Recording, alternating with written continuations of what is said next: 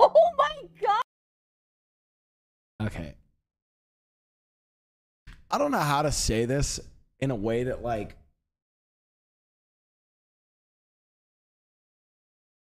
How do I say this?